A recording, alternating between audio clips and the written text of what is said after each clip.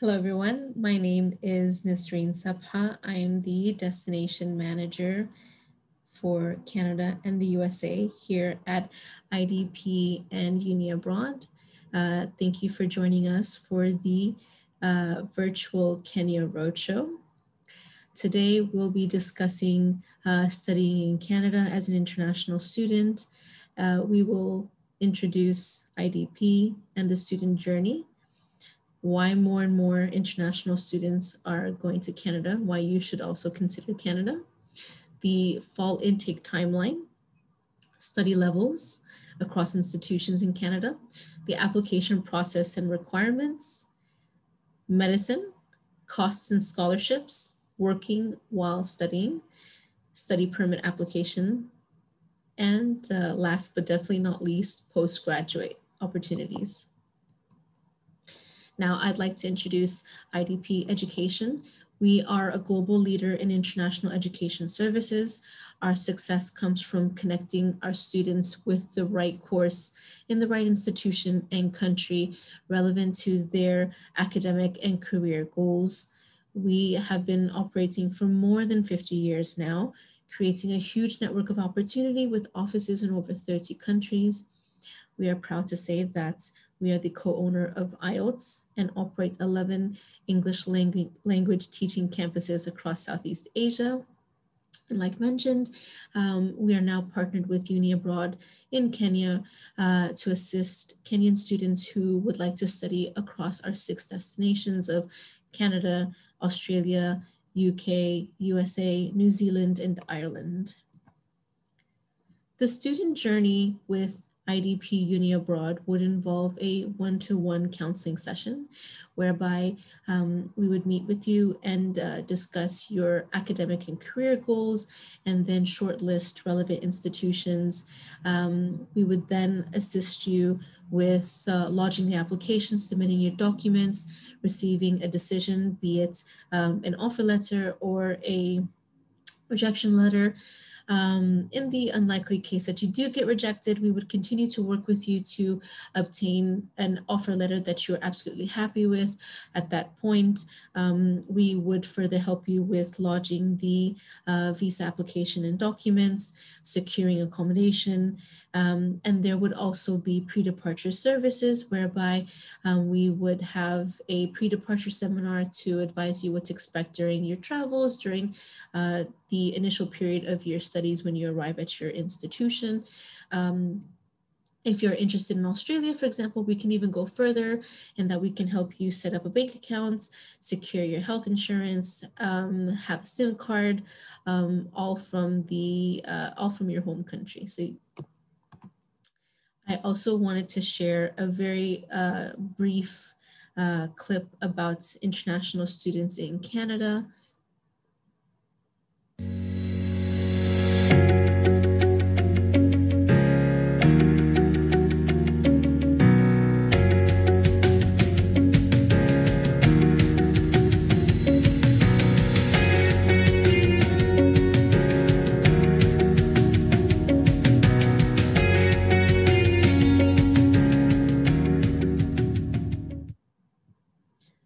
This is Study BC, but a common theme that was in the video was community. Now, Canada is a relatively younger country, um, and they do care about community engagement, and they have such an open door policy right now for international students and for immigrants. Now, saying this, I wanted to also share a few fast facts and figures. Uh, the capital is Ottawa in Ontario. Uh, as of 2019, they have a population of 37.59 million. There are 642,000 international students and growing year on year. Uh, there are two official languages, English and French. Uh, there are three territories up north, as you can see in the map here, Yukon, Northwest, and Nunavut, and 10 provinces down south. Um, Ontario British Columbia and Quebec tend to be the more popular.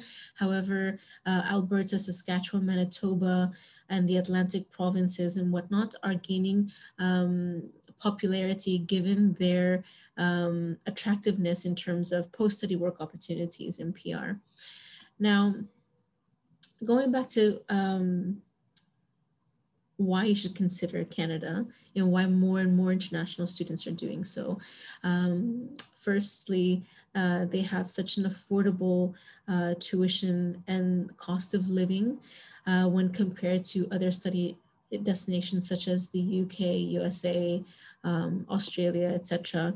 Um, and this is not at the expense of the quality of education. So you are um, definitely receiving a top quality international uh, class education at an affordable uh, cost on campus, there is something for everybody. There's engaging campus lifestyle in terms of clubs and societies.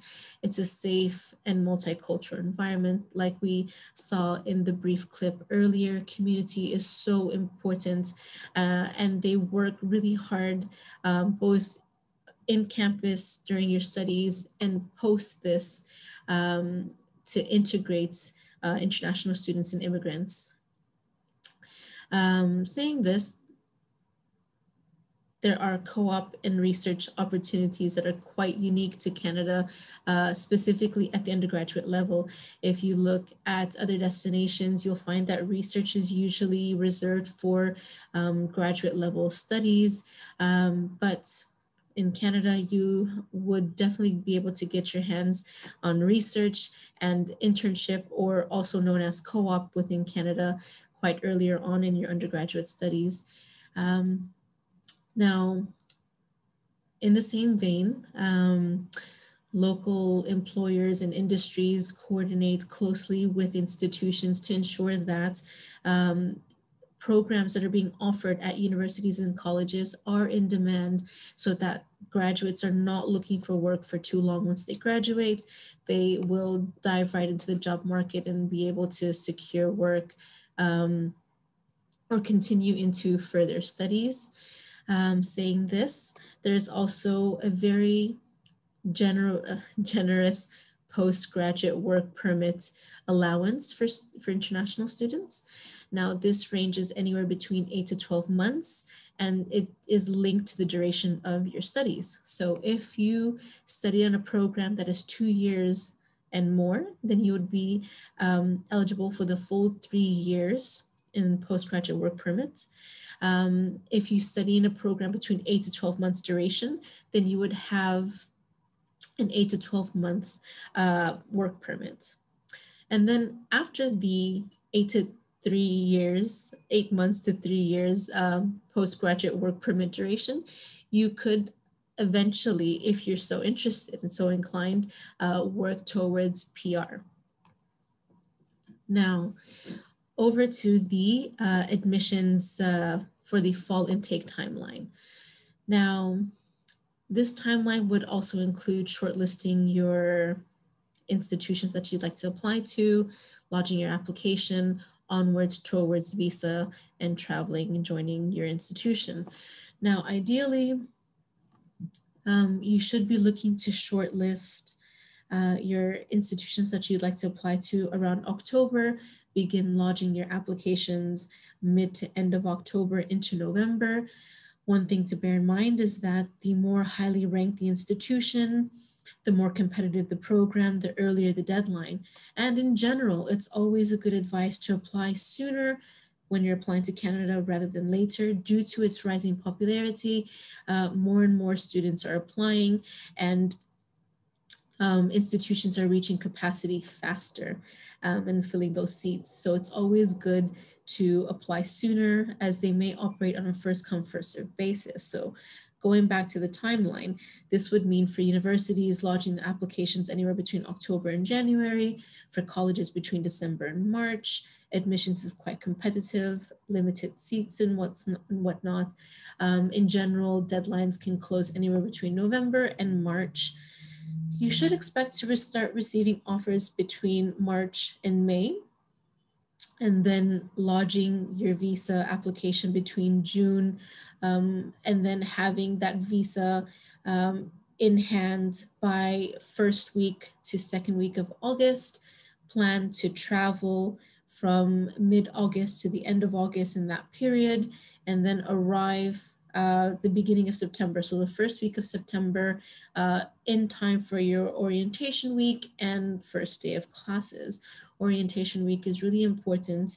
Um, this would allow you to become familiar with the local area uh, for registration, to get to know where classes are going to be, accommodation and whatnot.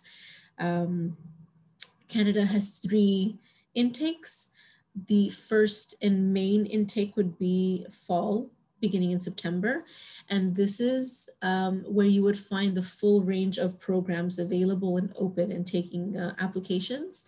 Um, the second intake would be spring or winter, which begins in January.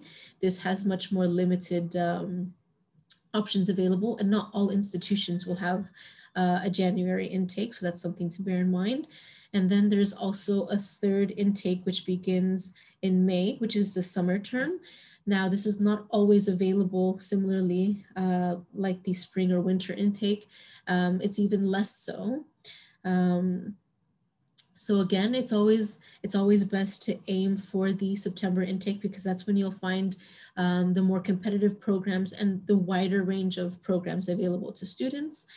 And something to bear in mind, again, it's really important that the complete admission process can take up to nine to 12 months. So this includes the research, the planning, applying for admission, confirming offers, taking any relevant tests that's required, um, securing your visa, traveling, beginning your studies. Now, there are different study levels in Canada that is quite unique to Canada, saying that. So straight from high school or secondary education, um, you have the option of certificates and diplomas that vary from one to two years in duration. And these are technical programs, vocational, job oriented programs that are there to get you job market ready quickly. Um, there are associate degrees, which essentially are transfer degrees. So you would study uh, two years at a college and then transfer to year three at a university and continue into year four, finally graduating. So your overall duration would be four years, except it would be split between two years at a college and two years at a university. Uh, they are called associate degrees or sometimes also referred to as transfer degrees because of that process. Uh, bachelor's degrees, of course, you have also an honors bachelor degree. Now the difference here would be the uh, your cumulative GPA that you score towards the end of your studies. You would have that uh, additional honors designation. Uh, typically speaking, bachelor's duration is four years in Canada. Uh, in Quebec, you may find uh, bachelor's of three-year duration. Now, once you've completed a bachelor's program, you may be eligible to apply for, or you can be eligible to apply for postgraduate certificate and diplomas. And they're very similar to the first set of certificates and diplomas. The only difference here is that they require bachelor's as a prerequisite for admission, but they are also, again, technical programs that are there uh, for you to cross or upskill um, yourself at that point of your career. Um, you do also have master's program that are split up by research or course based. And again, um, typically between one to two years in duration. Uh, after this, you'll have doctorate or PhD studies that will range from four to seven years. And then after this, there would be postdoc programs. Now, in terms of the application checklist, for undergraduate and postgraduate studies, there are, let's say, common requirements, and then there are additional or institution specific requirements that will vary from institution to institution and then even program to program. So for example, um, you will always be required to submit your passport as a form of ID. For undergraduate students that are heading towards bachelor studies, you would need to provide your high school transcripts from grade 10, 11, 12. So if you're currently studying in grade 12, you would provide your first semester and predicted grades. If you're doing um, external examination curriculum, then you would provide your predicted grades for those as well. And then once your final grades are released, you would submit them later. Uh, so initially you'd be um, awarded a conditional offer letter and then you'd be given a deadline to submit or to meet your conditions. Um, English proficiency scores, if you're looking at IELTS, it's between 6.5 to 7.0, uh, no band below 6.0. If you are a bachelor student applying for a master's program, again, you would still need to have your passport and English proficiency scores and your predicted grades, but instead of high school transcripts, you would provide your interim bachelor's results. So your, your interim bachelor's transcripts. Um, and a letter from the university to prove you're currently enrolled in your program of study. Um, a CV can assist uh, to highlight your work experience if you're looking for a research-based master's, it's a really good idea to reach out to the faculty for the program that you're looking to study and secure an advisor before you apply.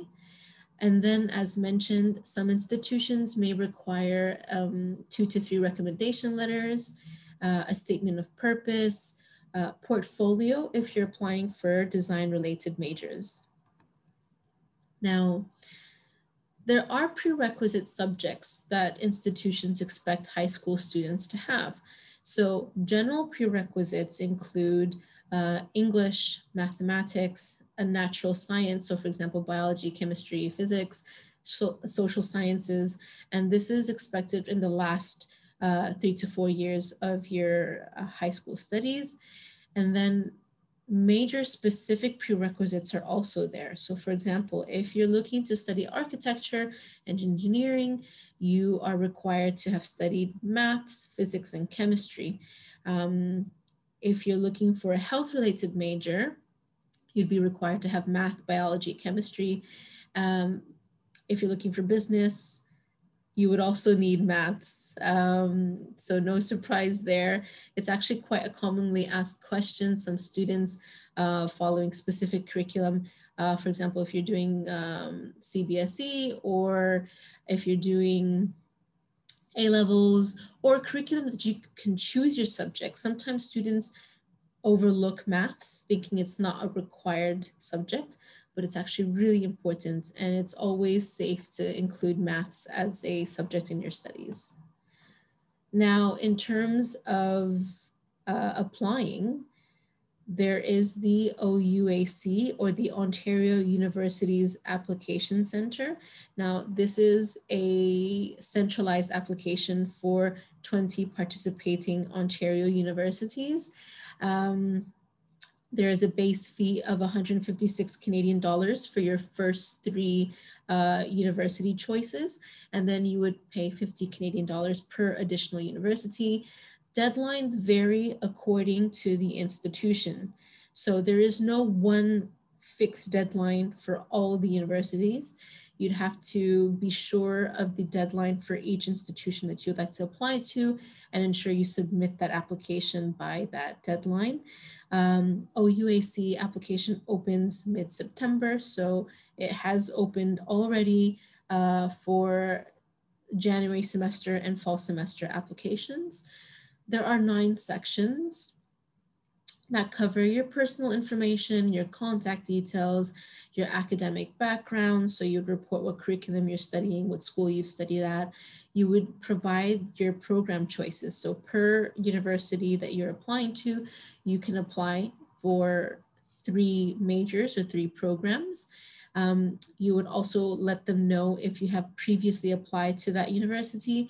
You would self-report your uh, academics. So if you have any test reports to provide uh, or test scores to provide, you would do that there. Um, provide your transcripts, uh, give an overview of your activities, extracurriculars, employment, and so on. Review your application, submit and pay for the fees.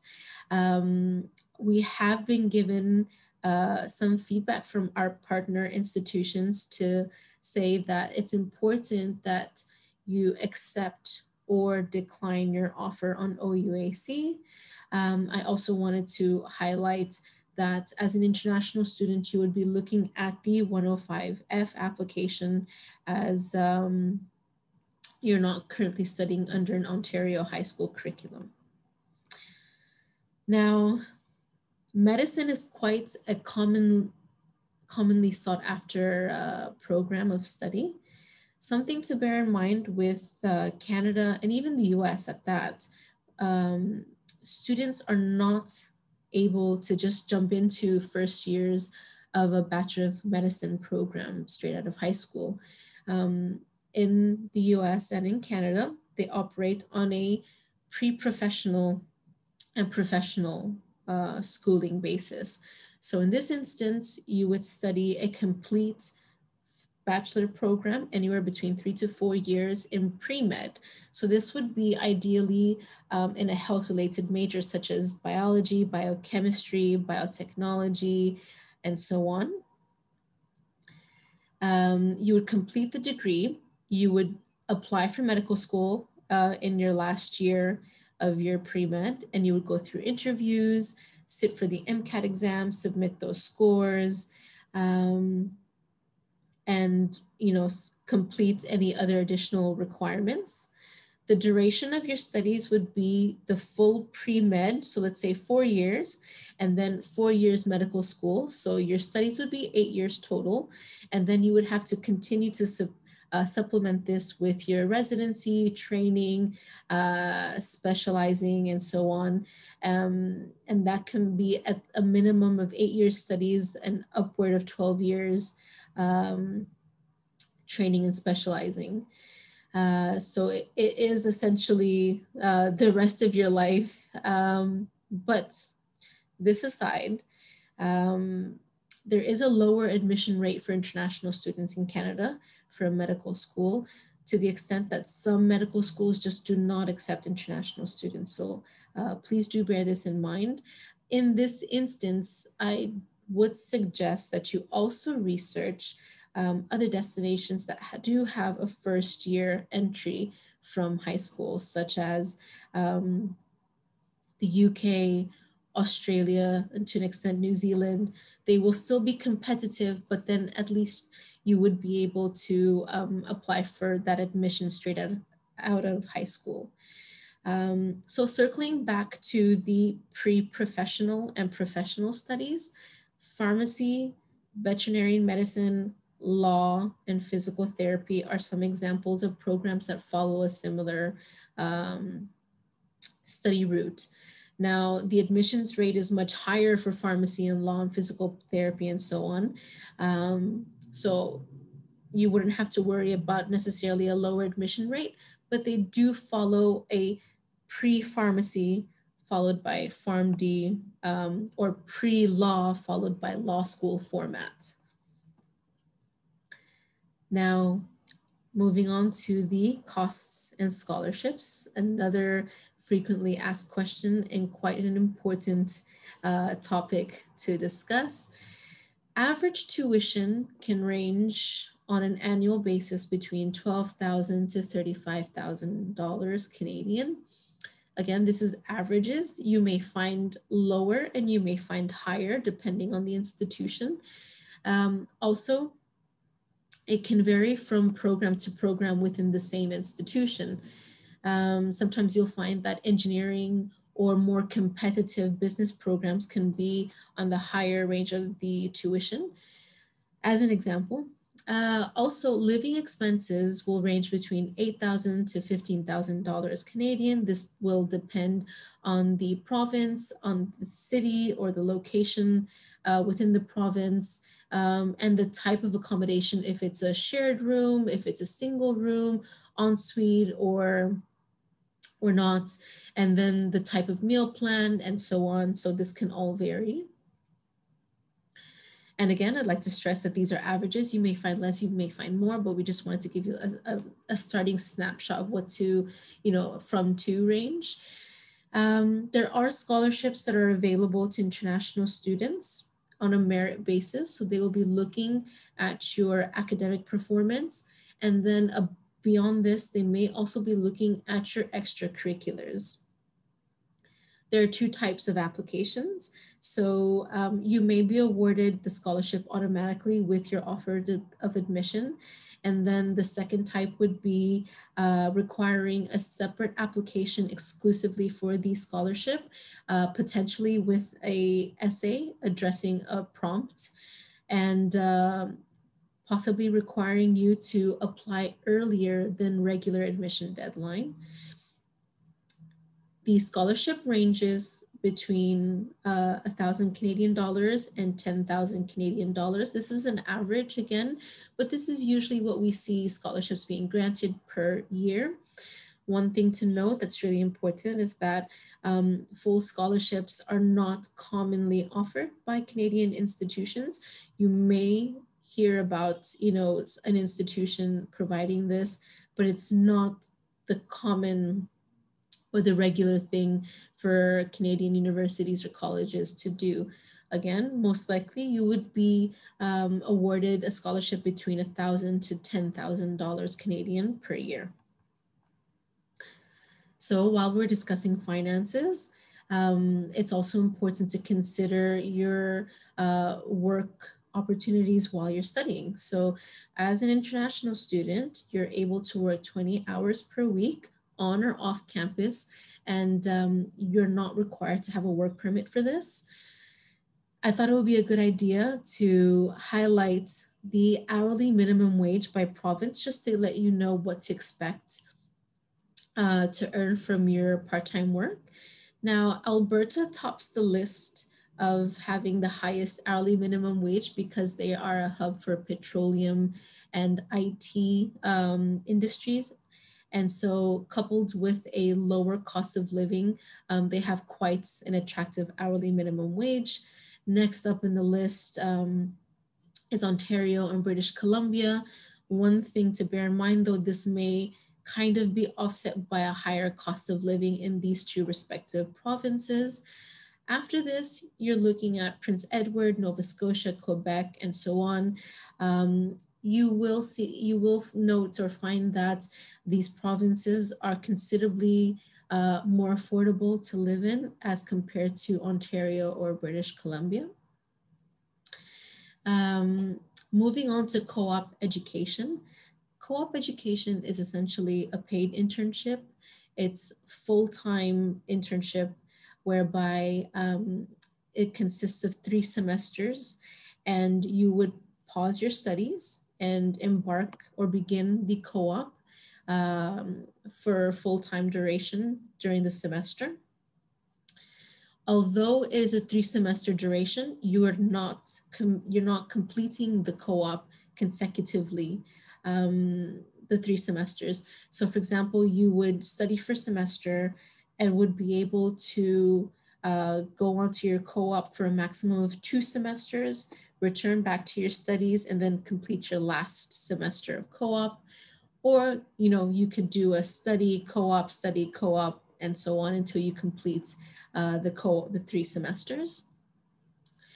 Um, you wouldn't have to worry about this now in terms of planning that. There are co-op advisors on campus that will work very closely with you to ensure that uh, you meet the requirements. Uh, one of them being that it cannot comprise more than 50% of your degree. Um, and the position must be relevant to your major. Um, you would be required to have um, a work permit and they will also be able, the team on campus would also be able to help you add this to your study permit. Average salaries on co-op can range between 560 Canadian dollars to 1,160 per week. Again, these are averages. And the range here is because as you would with a normal um, career progression, with more experience, um, the higher your average salary will be. And this can also vary according to the major. So for example, if you're looking at, if you're studying engineering or let's say cybersecurity or actuarial sciences, um, you may find yourself on the higher end of the range. Something to bear in mind. Now, I also wanted to discuss the study permit application process. At this time, um, you would be submitting the application online. Traditionally speaking, pre-COVID, um, you would be able to submit either online or a paper application, but the paper application is currently not being accepted. So online is the way to go right now. Um, you would upload your documents, you would pay your fees online, and then you'd receive an invitation to submit your biometrics. Um, you would need to monitor your email or your application portal as you'll be notified of any document requests or any kind of decision or updates uh, this way. And if successful, you would be submitting your passport to add the temporary resident visa, which is the screenshot of the first half. So essentially this would be the visa that is stamped onto your passport and this would allow you to legally enter Canada as an international student. Um, on the lower half of the screen, that screenshot is the actual study permit. Now this study permit you will pick up not from the embassy, it's not gonna be provided in Kenya.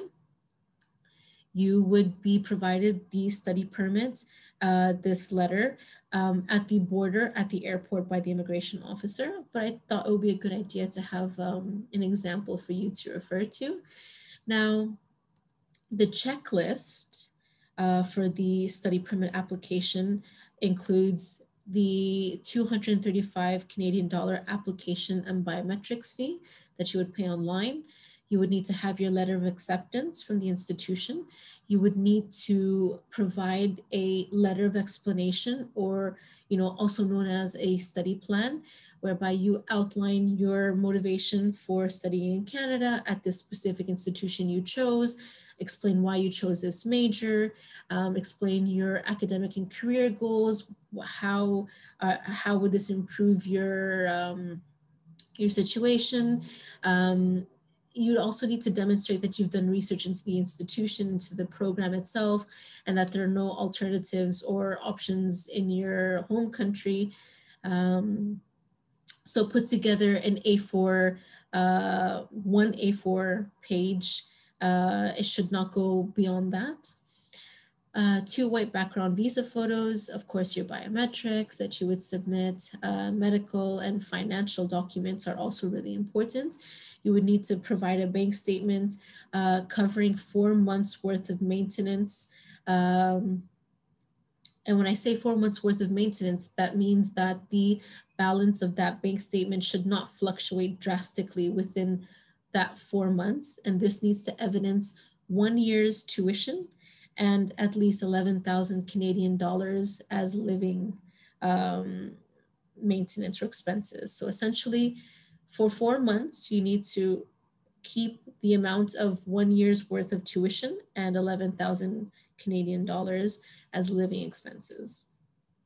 And avoid as much as possible um, a single transfer into the account of a large amount or any sharp fluctuations uh, in that maintenance period of four months it's good to provide a financial declaration by the student sponsor. So for example, if you are a student and your parents will fund your studies, or if you're funding your child's studies, you could draft a financial declaration or affidavit to say that you acknowledge you are the sponsor, you pledge um, X amounts of funds for tuition and living purposes uh, for the duration of the studies provide um, a link, you know, your relationship to uh, the students uh, and your contact details. Um, if you have been granted a scholarship or if the student has been granted a scholarship, proof of this would be good to provide as well. And receipts of any tuition or deposits paid to the institution. Um, in addition, above this, um, any proof of property titles, business uh, salary certificate, etc., can also strengthen your application.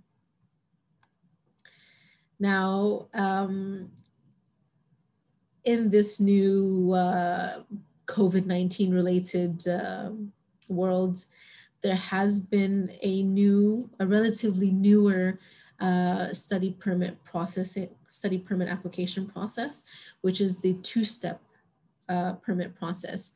The first step would involve submitting your application like you normally would do online, and you would receive an acknowledgement that you have met the um, minimum eligibility for the study permit. Um, this would be necessary for select institutions that previously, earlier on in the pandemic, were requiring a study permit for students to begin with online studies. Um, this would also be pending documents. If you had any pending documents, this would allow the opportunity for you to submit this. Um, there was a stipulated deadline. However, this has been extended. Now, saying this, if you're granted in this scenario an AIP, this does not guarantee that you will be approved the final study permits. You would still be pending the final decision of uh, rejection or approval. But the trend that we're noticing is that if you are granted an AIP, you are more likely to be approved for the study permit. Um, on the right side of this uh, slide is an example of an AIP letter. So it doesn't actually mention on the letter itself AIP or approval in principle, but this is essentially what this will look like. And in the notification, it will advise you that uh, you have been approved uh, for this initial, that you meet the eligibility requirements in this two-stage process and that you should um, begin to prepare for your online studies if you're planning to do so, um, and that they will be in contact for any additional requirements as necessary. Now, past this, um, postgraduate opportunities is a strong motivation for international students across uh, the globe to consider Canada and they have quite um, generous allowances for international students in place. Um, so the postgraduate work permit, PGWP for short, um, is the eight month to three year post-study work um, eligibility uh, for international students. And like I mentioned, this is commensurate according to the duration of your studies um, students have 180 days from completing their degree to apply for the postgraduate work permit, both uh, inside Canada or if they've chosen to return home, they can do that as well from their home country. And it allows, of course, international students to stay back for that duration of eight months to three years and gain valuable work experience, which will not only, you know, contribute to their professional career, but also in the longer run, as an international student, if you're interested in permanent residency in Canada, this can this will definitely add points to your residency application, which is also known as express entry. Now, express entry is the application process for skilled workers um, for permanent residency. It takes into account a range of factors, which include uh, education, so the number of um, programs that you've studied in Canada, the duration of these programs, your skills, your work experience in Canada, your language ability, your marital status, and so on. Um, you, you can check your eligibility online, prepare your documentation, submit your profile, and you would be invited uh, to apply. Now, in support of express entry, there is something called the Provincial Nominee Program, PNP for short. Um, and essentially, you would be nominated by the province you intend to live in and uh, settle down in. This would require medical exam and police check. You would be uh, contacting the province or territory requesting a nomination under a specific stream. So be it student, skilled worker, business, uh, semi-skilled worker, etc. Um, and this, again, like mentioned, would support your application for your uh, express entry or PR. Now, um, I also wanted to take this time to provide an update um, in terms of the travel restriction to Canada. uh, within the last uh, week or so. Uh, there has been updates to say that international students will now be able to enter Canada with a valid study permit, um, so long as their institution has met the um, COVID readiness plan or response plan. Um, institutions are now coming out um, providing updates if they have been approved or not. You would also be able to check on the IRCC website, uh, so the official government of Canada's website, uh, to check if your institution has been listed on their website as an approved institution uh, for their COVID readiness or response plan. Um, of course, your institution would let you know um, they have each been uh, sending out these updates um, as a matter of urgency. And um, that is the latest update. So going forward, um, students are still able to continue their studies online if they so choose. But saying this, if you have been granted a study permit, your institution has been approved uh, for their uh, response or readiness plan, uh, by all means, you would be able to uh, travel, but it's important that you confirm you are absolutely 100% sure and have been given the go ahead um, by your institution. Um, and only then to make your travel arrangements and aim to travel and enter Canada. Because if your institution has not been approved uh, for their readiness or response plan, then you would not be able to enter the country or to cross the border. So please do keep that in mind. But um, that is the latest uh, in terms of COVID related updates for Canada. Uh, so once again, thank you so much for joining us for our virtual roadshow. Uh, do stay up to date with us across our social media. Um, if you'd like, you can uh, take a screenshot of uh, this slide. We'll leave this up for you a little while longer. Um, we are on Facebook, on Instagram, and Twitter. Um, so stay safe and thank you.